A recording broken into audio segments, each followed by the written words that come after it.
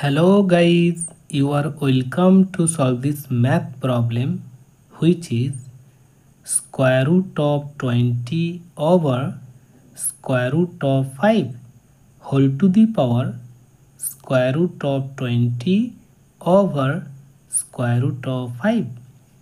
Guys, today I am telling you how to simplify this exponential form.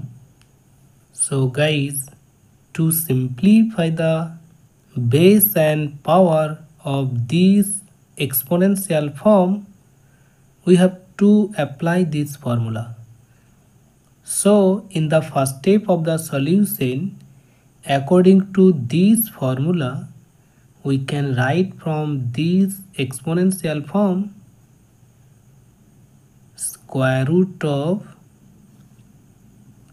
20 over 5 whole to the power square root of 20 over 5 then it will be square root of 4 whole to the power square root of 4 then it will be 2 to the power 2 is equal to 4 this is our final answer.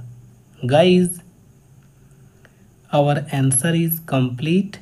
If you like this video and if you like this trick so please support me and subscribe my channel. Thank you. Bye bye